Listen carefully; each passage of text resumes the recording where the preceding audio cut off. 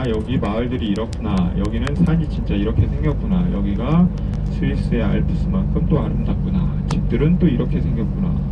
이탈리아의 집들은